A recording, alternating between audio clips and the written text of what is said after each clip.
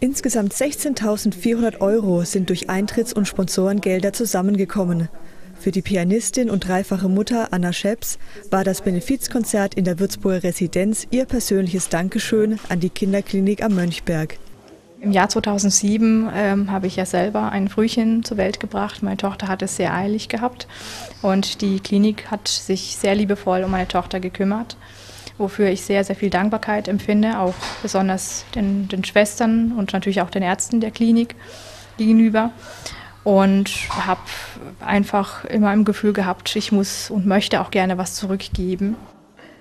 Die Kinderklinik kann das Geld sehr gut gebrauchen, denn viele Projekte werden allein durch Spenden finanziert. Ein Teil des Erlöses wird deshalb an die Stillberatung und das Stillcafé der Klinik gehen. Der größte Teil wird aber in das sogenannte Harlekin-Projekt investiert. Da geht es darum, dass Frühgeborene und Risikoneugeborene, die von unserer Kinderklinik entlassen werden und noch Betreuung zu Hause brauchen, diese Betreuung durch die Schwestern unserer Intensivstation bekommen. Denn eine Früh- oder Risikogeburt ist immer eine belastende Situation. Deshalb ist auch die psychische Unterstützung der Eltern enorm wichtig.